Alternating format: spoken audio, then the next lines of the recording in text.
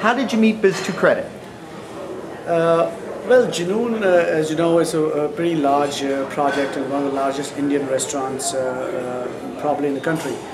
And uh, after a year and a half of its success and all the accolades which we garnered, I was planning to expand this concept and open, you know, some more locations. At that point, I contacted Biz2Credit.